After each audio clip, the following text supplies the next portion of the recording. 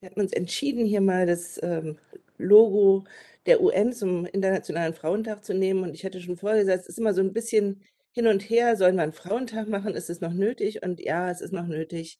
Äh, Gender Equality for Sustainable Tomorrow ist das Motto diesen Jahres. Und ich freue mich ganz doll, dass wir viele weibliche Sprecher heute haben. Wir haben Frau Antonitsch gleich von unserem Generalkonsulat in San Francisco, die dafür für Wissenschaften zuständig ist. Danach wird äh, Joanne Halpern, die die meisten, die in der Lecture Series oft teilnehmen, schon kennen, aus New York vom HPI, die uns hier immer hilft zu organisieren, äh, unsere Sprecherin für heute vorstellen. Und unsere Sprecherin ist Katharina Mandel. Darauf freue ich mich ganz besonders, denn Katharina ist die Erfinderin der Luca-App. Und wir haben schon vorher kurz ein bisschen erzählt. Und Katharina kennt auch Mansplaining aus eigener Erfahrung. Und äh, auch das wird vielleicht nochmal ein Thema sein zum Frauentag. Sonst geht es aber ganz inhaltlich heute um IT, wie so oft, wenn wir unsere HPI Lecture Series haben. Und ähm, da kann ich gar nicht anders als nochmal erwähnen, dass wir vor anderthalb Jahren zu meiner vollen Überraschung, als ich ganz neu hier war als Schulleitung, äh, eine, eine amerikanische Auszeichnung kriegen, kriegten für unseren ähm, IT-Kurs, weil da mehr Mädchen als Jungs drin waren oder mehr Frauen als Männer. Und da dachte ich, das ist ja eine ulke, ulke Urkunde oder eine ulke Belobigung, aber es ist natürlich toll. Und wir hatten auch im letzten Jahr ja unsere ersten Abiturienten im Fach Informatik.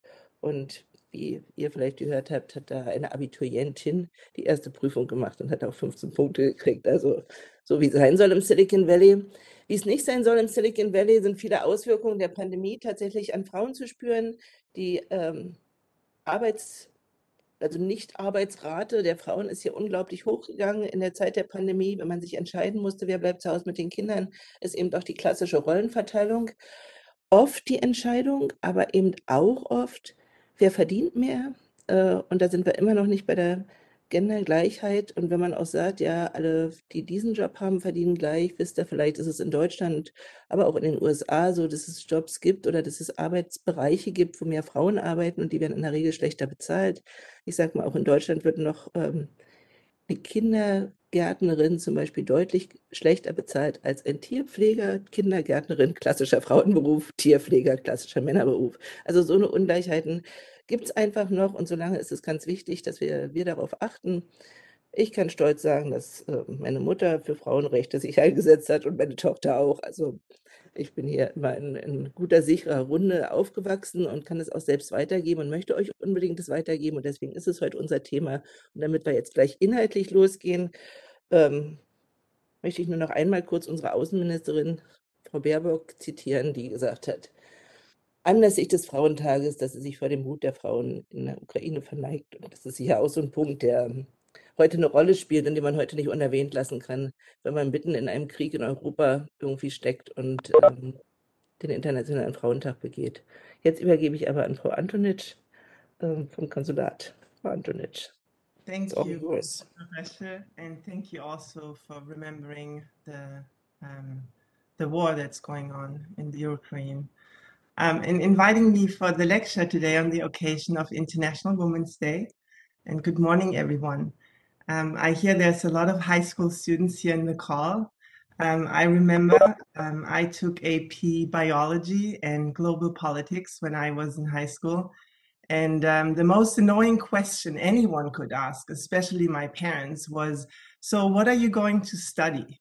Who are you going to be? And um, yeah, I couldn't have answered that question because the term science diplomacy didn't even exist back then. So today is International Women's Day, and we celebrate women's achievements and their contributions to society through their work in science and technology, in politics, in the economy, in arts, in many other areas of cultural life.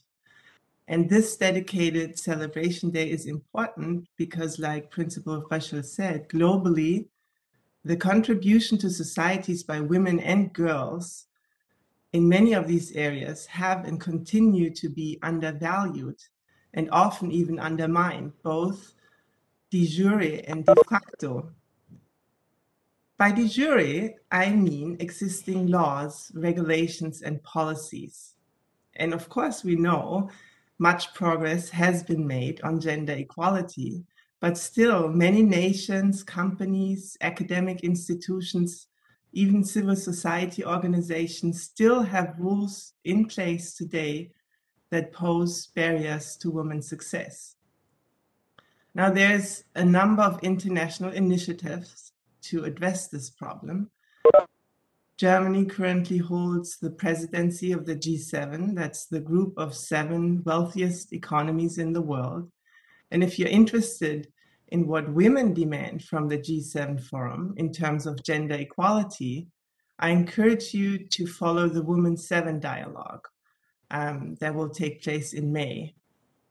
Now, the G7 leaders met two weeks ago and stated their commitments to gender equality and also to achieving the Sustainable Development Goals. And I like this, um, this uh, image from the UN SDGs because the G7 leaders did set themselves up to some targets, including to ensure women's full and effective participation and equal opportunities for leadership at all levels of decision making. And that brings me to what I mean by de facto norms. Those are existing cultural norms and perceptions on the abilities and role of women and girls so that even where gender equality laws do exist, it is these cultural norms and perceptions that can still lead to unfair and discriminatory practices. And those make it harder for women and girls to participate in all these areas. So, like Frau, Pre uh, Frau Resche noted, that means, for example, that these biases account for the gender pay gap and right now in the US, among all workers, that means it's 16 cents to the dollar. So that when a man comes home with $100,000 a year, the woman only takes home $84,000 a year, even though she has the same education and the same experience. And the same biases are also seen in funding opportunities. So over and over, there have been tests and when there's an application for project funding, it is more likely that it is approved if it's submitted by an applicant named John. And it's more likely to be declined if that funding application is submitted by an applicant named Jen. So, so we do need to change this. And to do that, it's really important to recognize the achievements by women, past and present. And um, we need to highlight fundamentally and establish the norm transforming change that can happen in courts, but it also has to happen within our organizations. Um, we need to move away from agents of doubt and we need to move towards the empowerment of courage and trust, just like Frau Röschel acknowledged her mother giving it to her. And this requires us to reflect personally on our own behavior, our thoughts, our words, our actions, both with regards to ourselves and towards others. So I'm really grateful for the opportunity to listen to Caterina Mandel share her personal reflections about her success in the field of computer sciences and entrepreneurship and um, I just want to add, in fact, that the COVID crisis is a prime example of the science policy interface. And the LUCA app is an illustration of applying technological innovations to the implementation of policy objectives, such, uh, in this case, contact tracing in order to contain a pandemic. And it also illustrates the need, as with most technological advances, to secure against potential negative impacts on society.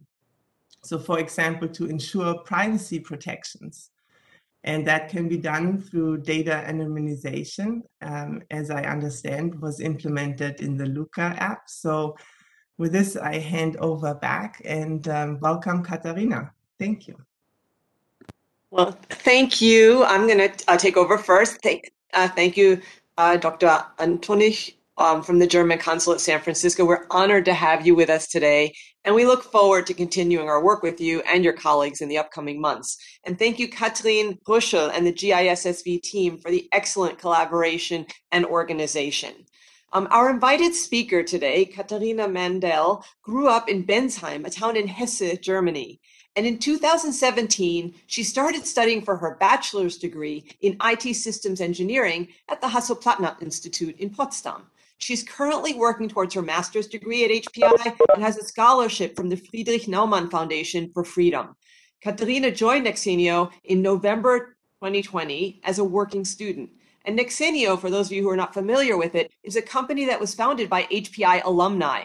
And she is now the product owner for the Luca apps, which are used all over Germany for COVID contact tracing. And Luca has more than 40 million users. And Caterina will tell us more about Luca and herself. Caterina, the floor is yours. Thank you very much. Uh, so I think I'm going to start sharing. First of all, I have to make one remark uh, because of what uh, said. Actually, I have to say I'm not the inventor of the Luca app. I'm only product owner. uh, maybe that's important. And Impressive enough. Impressive enough, Caterina. uh, however, with that, I'm going to start sharing. So do you see my screen now? All right, nice. So first of all, uh, yeah, let's the next remark actually, because uh, this, uh, as as I can tell, is uh, for yeah, it should be as interesting to you as uh, it can be and should not be about me overloading you with information. So if you have any question, please do not hesitate also to ask in between or uh, to unmute yourself. And uh, if, there's anything that you're more interested in, in um, compared to what I'm talking about, then uh, just please say so. So, but with that said, uh, I'm going to start now. So, why I wanted to work in IT and ended up as product owner for one of Germany's most popular apps, the Luca app. So, we're just introduced to Luca. But I'm going to introduce you to me now. I'm Caterina. I was born uh, in 1998 in a small town near Frankfurt, as Joanne already told you. And uh, I'm actually passionate about modern contemporary dancing and all kinds of endurance sports. And uh, actually, I had to laugh a little when I saw that slide because a, colleague of mine was preparing the whole presentation. And uh, this is a little, yeah, let's say insider. Uh, because, uh, or that goes along with the third point that you can see here. Uh, I do not like to be at one place for more than four weeks, which was actually quite hard within the last one and a half years. However, uh, that is also one of the benefits uh, when working in IT because, uh, for example, my parents uh, live at Majorca, so I spend a lot of time there, working from there. And um, yeah, this was uh, actually about two to three weeks ago when I was skiing in Switzerland uh, at a friend's place and also worked from there. So my colleagues really rather, or I'm known actually for not being in the office at any time, but uh, instead working from anywhere. Yes, but that's that. Just a little uh, context about me. And actually, now to the last point, I'm also passionate about fashion. And actually, when I was about your age, uh, I was really sure that I wanted to study fashion management. However, then I did two internships at a designer in Germany and a fashion magazine, and I realized that I couldn't imagine working in fashion for my whole life. So I had to rethink, and it was actually quite hard because um, I was in 12th grade, I think, back then. And until then, I was really, really sure that I wanted to work in fashion. And then I had to, um, yeah, kind of. Uh, yeah, completely rethink what I wanted to do. And actually, I can totally um, agree with what uh, Beate just said that it's really um, hard to answer that question of what to study and who you want to be. And uh, yeah, back then I had a lot of talks with my dad, who already uh, also worked in in IT, and he then told me about the HPI in and thus uh, I yeah just went there uh, for a visit, and uh, because I like the campus and the city and everything there so much, I then decided just to study um, computer science out of the box, let's say, uh, because I didn't have um, computer science at school, and neither I had uh, like an advanced course in math or anything like that. But I just decided because I've always been tech savvy and uh, also quite good at math. Uh, and then I just decided to um, let's give it a try. And yeah, to, to try to study computer science and to understand actually the um, yeah the technical devices that we use every day. But so that you can also understand why I decided to do that, I'm going to show you one picture of the campus, and uh, so that you know what I'm talking about. So actually, that's one part of what made me study at HPI. Uh, as I said, the campus and also the city of Potsdam, which is really, really nice. So if you have the chance to go there, I would really recommend to do so. And I also had a chat with one professor that really, uh, yeah, stick to my mind even uh, until today, because uh, I was so, yeah, insecure uh, back then that I would be, or insecure if I would be um, able to study computer science without having any prior knowledge in that field. However, that professor told me that uh, that uh, isn't actually a problem and that many students do not have any prior knowledge and that they start from scratch really um, in the first semester. However, I experienced that this was not really the case. So uh, actually, uh, many of the students that started studying with me uh, already had a lot of prior knowledge um, when they started studying uh, computer science. Uh, so the first one or two semesters were really, really hard. I had to catch up with a lot of topics. However, I got to know some people, we were really the minority, who also didn't have too much of uh, prior knowledge. And with the right people, I can tell you, you can study almost everything and also uh, at the right place. It was really so after the, I would say, first or first two semesters, uh, really went up like that. And it was, uh, got really cool with cool people and also then with uh, like cooler topics because the first two semesters when studying computer science or i think any scientific topic is really theoretical but uh, when you went uh, when you went past that point so past every um, like basic math class or theoretical computer science class or anything that um, goes into that, that direction and rather go into topics like how does internet work? Or um, yeah how can you imagine uh, phones communicating? And uh, really like the what what I regard of the like really interesting stuff because uh, as I said these are things that we use every day and uh, you really a minority only knows how those work. So that's what uh, really got me interested in IT and actually kept me going uh, when studying at HPI because I was really not sure about that within the first two semesters. So, hint to you uh, if you start studying next year or within the next years, you have to get past those first or first two semesters. Trust me, it will get better.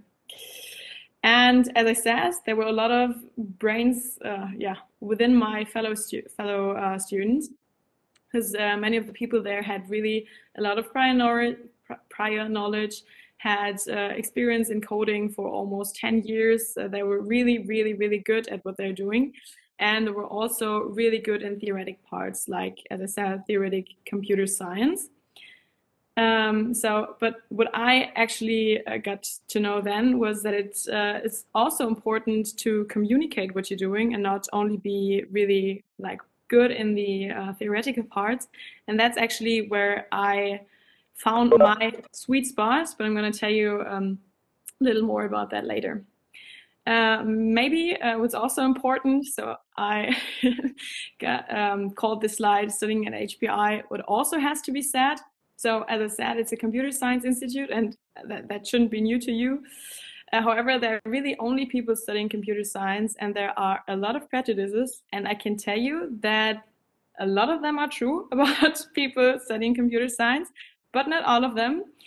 And uh, within the people for whom those do not apply that much, we also do party and we have a really, really nice uh, campus culture at HPI. I have to say that. Um, because actually, that's not really what I expected when I started uh, studying computer science and being surrounded by only computer scientists all the time. And uh, as I said, the campus culture was really nice. So we had Friday beers every Friday after um, after our lectures, and we have this uh, HPI Sommerfest uh, from which uh, this picture is, and yeah, many many many different things where you can get to know really like everybody, and everybody at HPI knows everybody. Uh, and actually, that uh, I think it's rather an American thing. So maybe it's natural to you that there's such campus life, but actually it's not that natural in Germany. So I think it's important to mention that uh, here as well when talking about uh, studying in HPI. But as I said to you, I'm not like the best coder, and neither I'm the best at computer uh, or uh, theoretical computer science. However, um, that one thing that I or that that's special about me, I think, at HPI was that I can communicate uh, the things that we were doing. So the complex concepts and uh, yeah, talking about what we do um, every day in in those topics. And when I recognized that I was good at it and that that was something special because I didn't really think of that as something special, I started to work uh, for the HPI um, blog, uh, which was a blog. Um, that went to events or so digital uh, fairs or events like that, and also to the Digitalgipfel, which is like the most uh, important fair for politicians and um, companies uh, regarding digitalization in Germany. And we went there with a blog and interviewed the most important politicians, founders, scientists uh, in Germany and thus I yeah got the chance to really get to know a lot of interesting uh, people through HPI. Uh, and yes, also the chance to be at those events because they were really, really cool. And as yeah, the, the people at HPI also got aware of that, uh, I started to moderate uh, all of, of the HPI events actually. So what you can see here is uh, the 20 year celebration that was i think in 2018 so already or 2019 i guess. So already some time ago but that was also really really cool. And uh, yes uh, this uh, actually also th this opportunity also brought me to nexenio because that happened back then. This is a picture of the bachelor podium that we have once a year at hpi where uh, actually every so we have uh, within the last two semesters of the of the studies at HPI. I, am not sure if you know that, but I'm just uh, just repeat it so that we're all on the same page. So within the last two semesters of HPI, we have a big uh, computer science project with uh, companies and also with chairs from HPI. And uh, so you work on on a project with five to six fellow students and then at the end of the project, you uh, present um, the results from that project. And that's um, uh, the results are presented within the bachelor podium once a year. And uh, actually, that was the first online bachelor podium because it was already in times of um, COVID 19 and measures. So we weren't able to do that uh, live or like in person but we did it online uh, as a live event, and thus they needed also someone moderating the event. And uh, actually, next to um, Meinel, that you can see on the right hand side here. And actually, I've seen that he's also already talked in this uh, series, so you should be aware of him. Um, and actually, I was quite nervous standing there. I, I, think you can tell that from the picture. but yes, I had the chance to moderate uh, like right next to him. And uh, within that event, um, also one, or actually the, the head of sales of Nexenio joined and thus uh, saw me moderating and afterwards uh, texted me on LinkedIn uh, if I wanted to work at Nexenio as a working student. Um, so actually that was like really the first time um, they got aware of me. And I already uh, knew Nexenio because a lot of my friends from HPI already worked there. So I was really excited that um, somebody from there texted me asking me if I wanted to work there, and uh, obviously said yes, because uh, yeah, now I, I work at Nexenio. But um, maybe some context about Nexenio as well. So um, Nexenio actually is a startup uh, in Berlin, so right, right, like in the middle of Berlin, as you can see here, and uh, right, right at Friedrichstraße actually. And it was founded in 2015 by Patrick Hennig and Philipp Berger, and also with Professor Meinel that you just uh, saw on the on the picture beforehand. And uh, actually, the uh, Nexenio was founded based on different projects or research projects from within HPI that um, yeah, were done by Philip and Patrick. And uh, what they so the, they worked a long time uh, in research at HPI. However, what they lacked was um, yeah, the possibility to put the the projects that they worked on really into products and really do something with it um, beyond this, uh, let's say, only researching. And actually, that's um, what makes Nexenio. So uh, all of the products that are now um, developed within Nexenio are former research projects, except from Luca, but more to that later. And uh, yeah, that, that's kind of the cool thing because it's really there's really a strong connection to the HPI still, and thus also, uh, a lot of my colleagues here at Nexenio are still studying at HPI or also studied at, HPI. But now to the products of Nexenio. We have, uh, or before or when I joined actually, we had three products, uh, Nextboard, bDrive, and Seamless.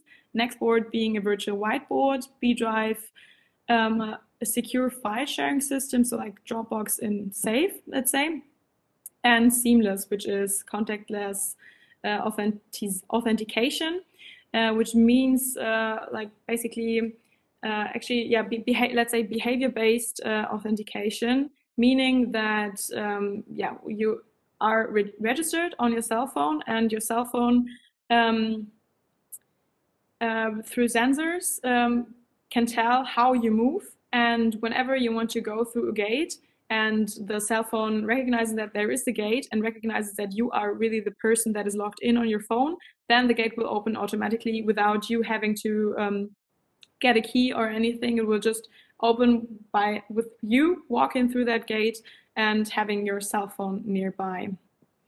And actually, besides the products and that it's cool that they are research projects, uh, there are also other uh, advantages coming from working in a startup. So First of all, as you can see, we have a really nice office and I have actually some more nice pictures in here.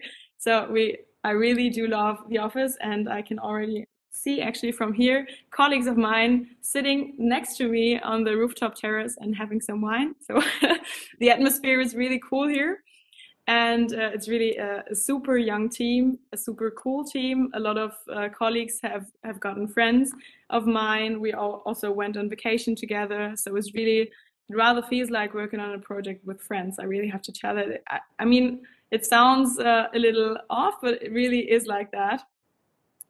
And as i said we have uh, yeah super nice office super nice views and uh, the most important super nice team and it's really nice to also celebrate um, you know, within that team.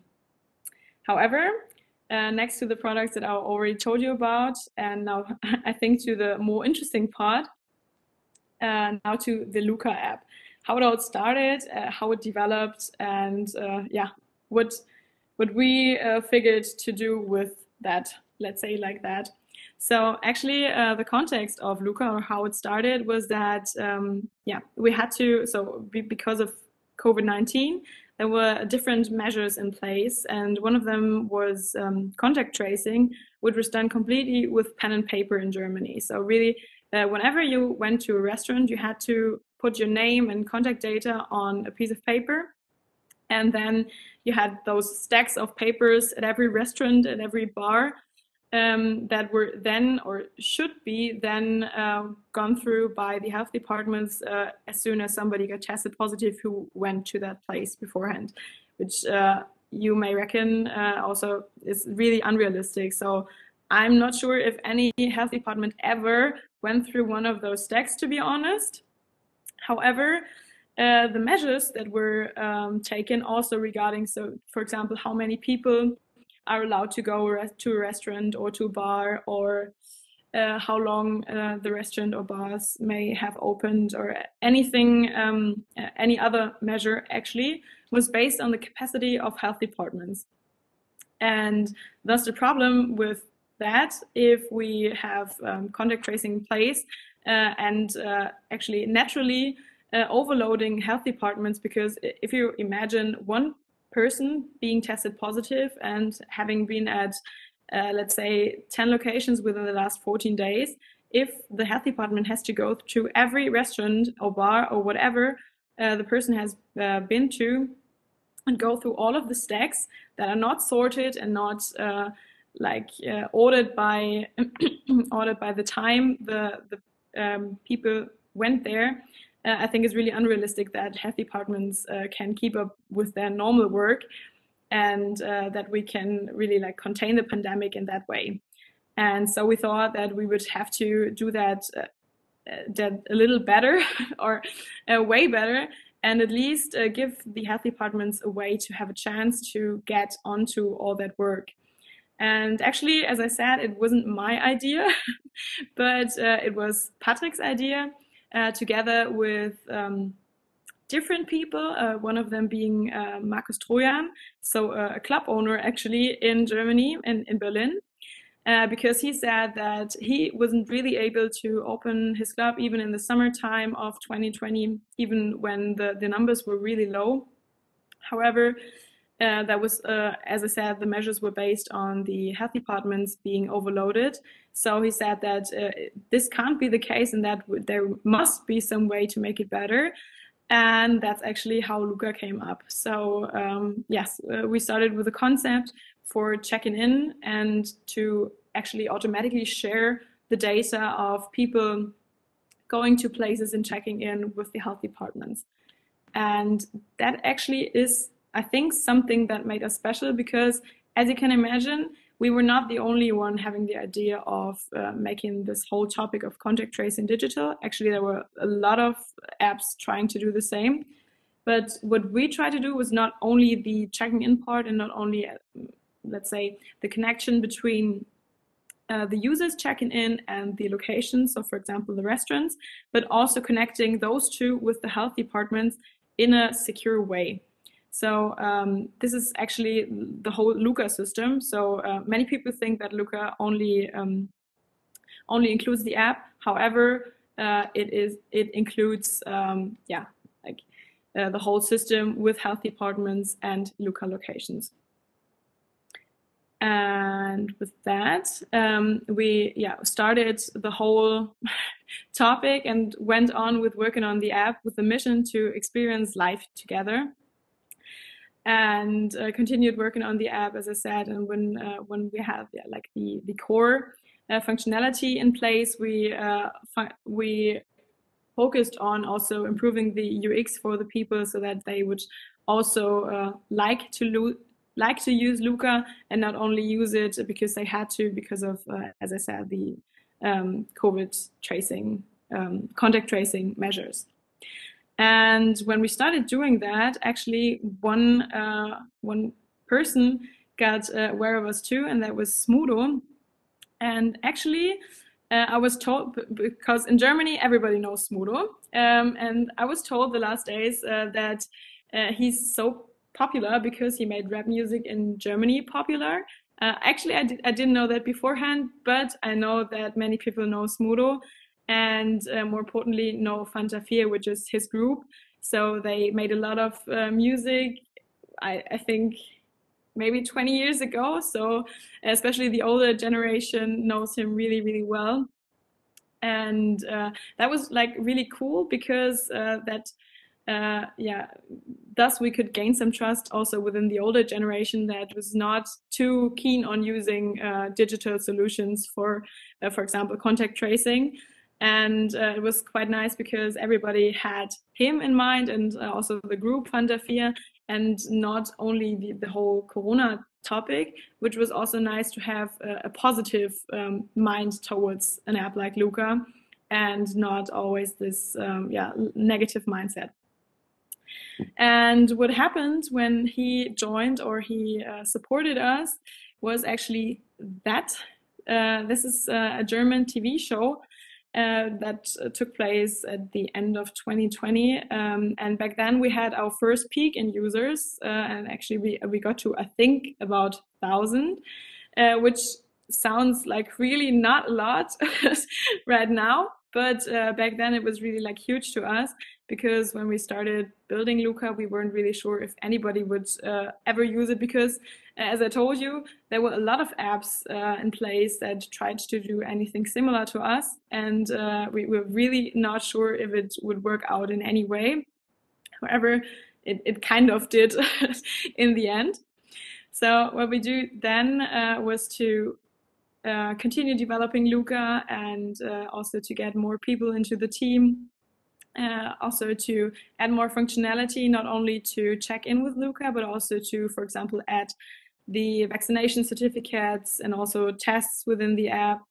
And uh, yeah, on all to make it easier also for restaurants to use the app. So not only um, for the people to check in, but also really to um, support the restaurants that have already suffered a lot from the measures um, uh, due to the COVID crisis.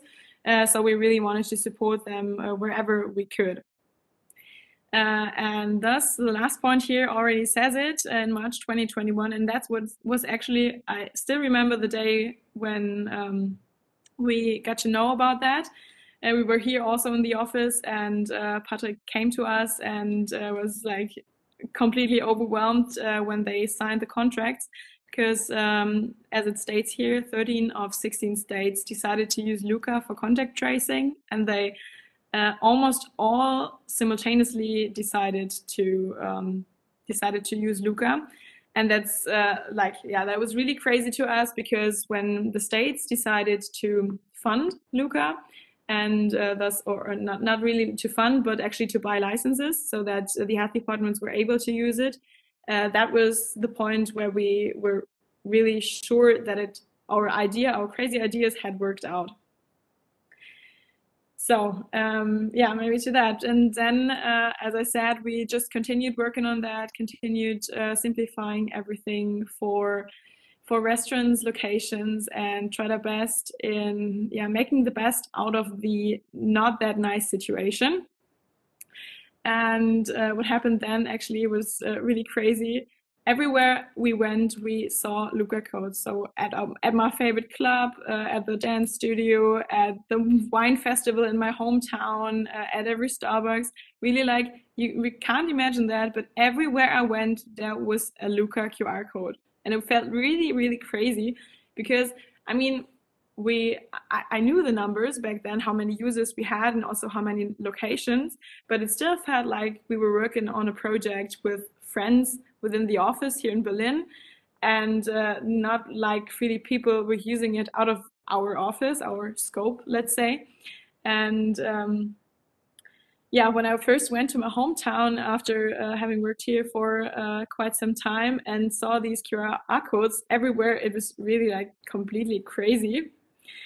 And uh, then also, uh, having talked about the numbers, uh, we got up to uh, 40 million users, which is also really crazy. Um, I mean, maybe that sounds not too much to you, but actually that's half of Germany. So it was really completely crazy for us. It was really absurd and we also had 450,000 uh, locations signing in uh, to Luca and 30, uh, 323 health departments of approximately 370 health departments were connected to the system. So as I said, uh, 13 of our 16 federal states decided to use Luca and with them uh, also all the health departments within that states um, got connected to Luca. However, we also provided the uh, possibility for those uh, health departments in the states that do not decided to use to use Luca uh, to still connect, and thus we have uh, some more health departments, so also some um, single health departments that decided to um, buy the licenses and use Luca. Um, yes, and actually I, I, don't have a feeling or I don't have a number of how many locations we have in Germany. Uh, so I, I, can't really give you a number of or give, kind of give you a context of how many locations that are in contrast to all locations that we have. But I can tell you really almost wherever you go, there are Luca codes everywhere. And with that um, kind of development, also people got, let's say, interested in what I did at Luca. And uh, due to that, I was invited to uh, different talks uh, to have live discussions uh, from, for example, the Friedrich Naumann Stiftung. I'm going to show you um, screenshot of that in a second. Um, but uh, yeah, that was also like really, really new to me because, uh, as I said, I started working at Nexenio as a working student and hasn't worked as uh, anything within that product uh, topic beforehand and uh, also didn't know actually what was expecting me when patrick asked me if i wanted to uh, help in product and then uh, became product owner of the native apps of, of Luca and yeah then suddenly i was uh, responsible for yeah to keep 40 million users happy that was really a crazy like experience um, made back then. And uh, yeah, I'm not sure actually if you know about the, the role of a PO or what a PO, um, so product owner, does. Um, actually, in the most times when somebody asks me what I'm doing is to tell the developers what to do, because uh, as I've told you before, I'm not the best coder, and uh, I also don't have to uh, like hide that. But uh, I think I'm I'm quite good at uh, understanding the concept of a product or of a technical product and to communicate um, like the, the, the vision and also to communicate what has to be done so that we reach um, or that we go come through the product that uh, we have in mind. And uh, really is uh, like let's say 80% of my time is really um, writing tickets and uh, organizing developers um, doing what uh, Patrick and me had in mind for Luca. And uh, the other time, I'm uh, yeah, let's say working as a as an interface interface for all people that have to do anything with the pro with the product. So, for example, our designers or marketing or PR. So anything actually that has to do with the product. If they have any question uh, regarding the apps, they would go to me, and I would try to explain uh, what we're working on and try to help anybody out who has any questions. Yes, and uh, within that role, actually, it was uh, also a little um, a little crazy. That discussion I, I just told you about uh, was for the Friedrich Naumann Stiftung, as I said, and a week before that discussion started. So I asked uh, our PR person if it if it would be fine because um, actually the the Friedrich Naumann Stiftung asked me to do uh, that discussion, and a week before that, I learned that Jan Koos, so within the, the lower right here, would be also part of it. And uh, actually, just some days um, before that, I learned that he was like our one of our biggest competitors. And uh, thus, I had to really like stand against everything that he said within that uh, discussion as uh, only the product owner um, compared to him as the founder of another um, app for that contact tracing topic. Uh, I was also like re really, really excited before that session. Uh, but it was also a, a nice experience. Okay, not, not, not let's not say nice experience, but it was an experience uh, to have uh, been part of such a discussion and to really uh, stand against every bad feedback, but also explain why we did uh, things the way we did. Because um, actually, we are also aware that um, the whole Luca system, I mean, it is quite secure. However, it's uh, probably not the system that we would have built if we would have like months or years of time uh, thinking about how uh, such a system could look like and then building it. But what we did back then was really okay. There is this problem in place. We have to make anything um, and we have to yeah make an effort to uh, digitalize where we can and thus um, support health departments. So we just started implementing and uh, we're uh, yeah still trying to get rid of that um, approach, I think. Uh, so now we have to learn uh, to really first think about what we're doing, but I'm com coming to that uh, also in a second. But um, yes, as I said, uh, the most important thing that was to really get get hands get our hands dirty, do anything and then see if it works out. And if it doesn't, uh, try again and uh, do things differently. But um, really, the focus was on speed here. So uh, some of the criticism uh, also was actually completely understandable. So uh, I also learned uh, within that time, and especially in discussions like that, um, to cope with that criticism and to also um, give in that we didn't do anything perfect, uh, but that we tried our best and that we're still trying to. And um, yes, so these kind of situations uh, really like having to stand in for the product that you're building all of the time that feels like your baby was also really it, it was an experience i would say. But now to sum up actually the the Luca style story, uh, you have, uh, or I, I, will provide you with a timeline here because I know that it's a, a lot of context and I just wanted to uh, give you the opportunity to have some kind of uh, summary over here as well. So as I said, in, in summer 2020, we started with the idea of uh, the club owner in Berlin and uh, Patrick also. And uh, in, in September 2020, the app was available for download for the first time.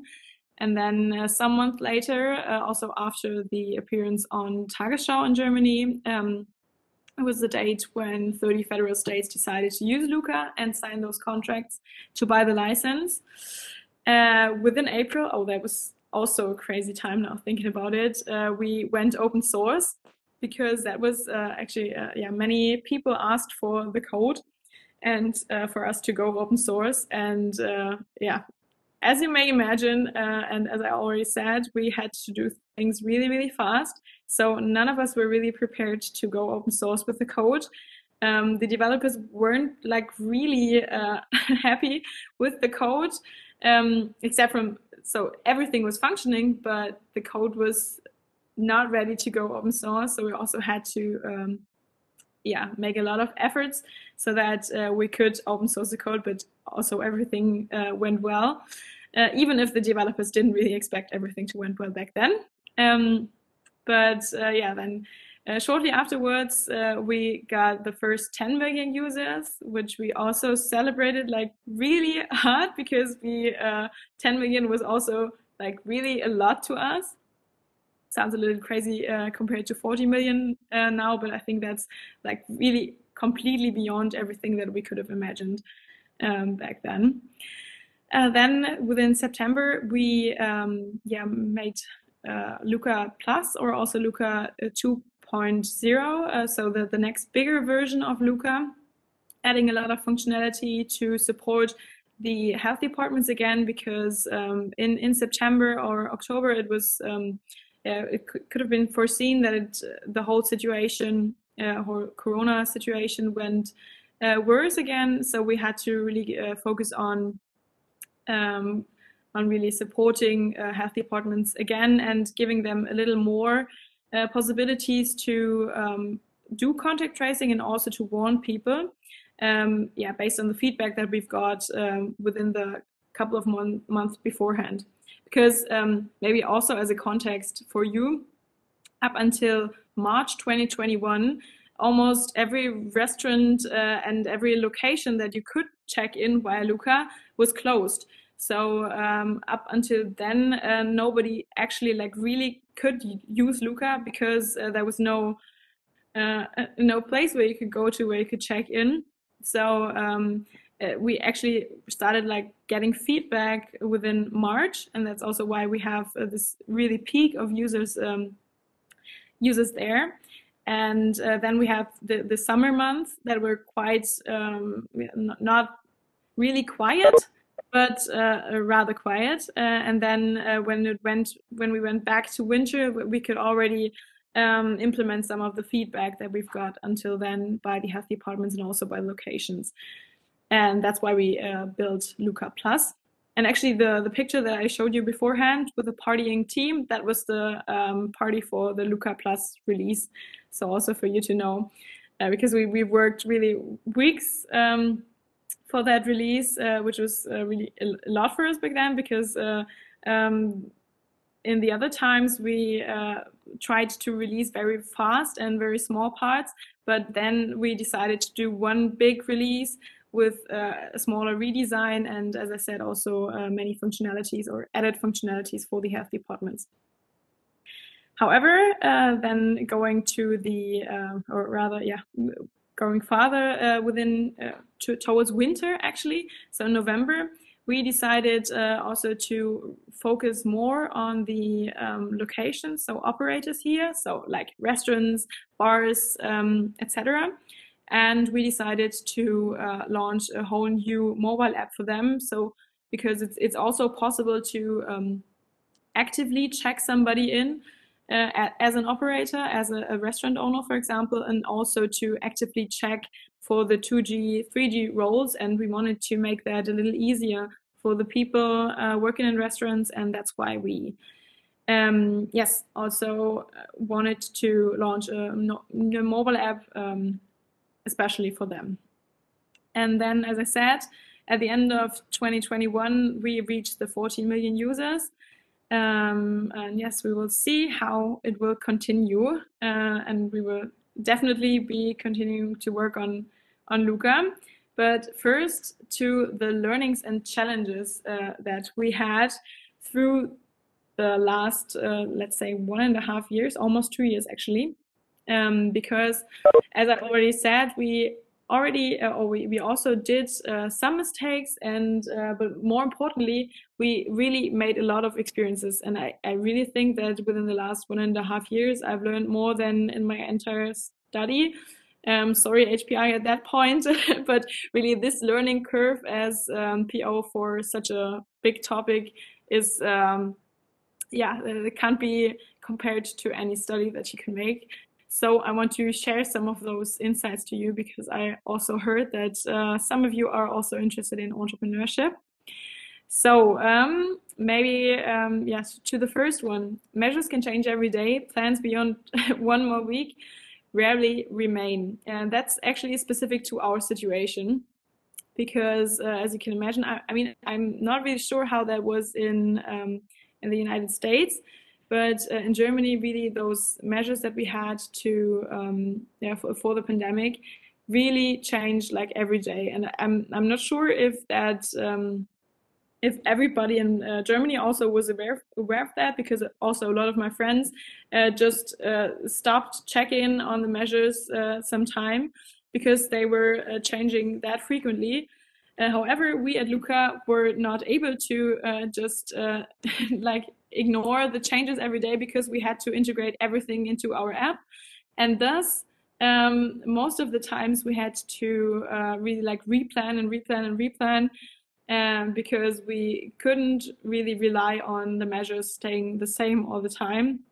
And it also really like didn't work out that measures stayed the same. So uh, I have um, maybe one short story. I have one uh, or an, a meeting every Monday with the app developers uh, trying to tell them uh, a little bit of the context and what we're planning to do and what we will do this week. And uh, actually, it, it, got also an insider joke that I uh, present a roadmap, but that I present a new roadmap every week.